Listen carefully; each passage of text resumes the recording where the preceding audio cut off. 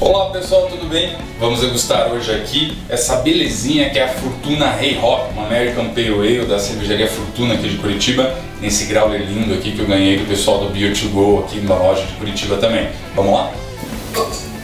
Uma cerveja dourada com espuma de boa formação e persistência. No aroma, notas intensas de maracujá e laranja com leves toques de casca de pão. O sabor é amargo, médio, repetindo os aromas com corpo leve, boa carbonatação um final seco bem aromático e persistente.